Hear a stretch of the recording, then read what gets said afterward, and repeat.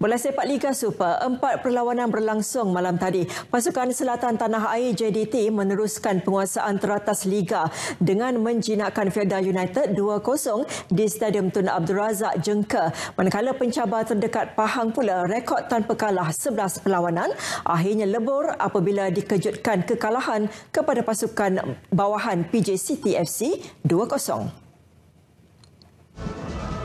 Terdahulu perlawanan berlangsung di Stadium Majlis Perbandaran Petaling Jaya MBPJ Kelana Jaya. Anak-anak buah Dola Saleh mempamerkan aksi long lai. Kesempatan itu dimanfaatkan sebaik mungkin skuad kendalian K. Devon dengan meraih tiga mata penting sekaligus melakar kemenangan ketiga dalam aksi Liga.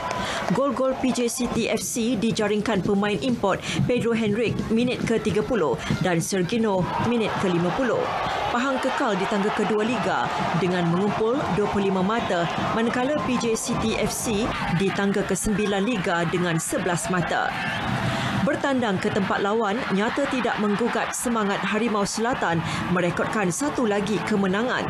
Pemain import dari Brazil, Diego Luis Santo, menjadi watak penting pasukan dengan menyumbat kedua-dua gol buat JDT iaitu pada minit ke-38 dan minit ke-61.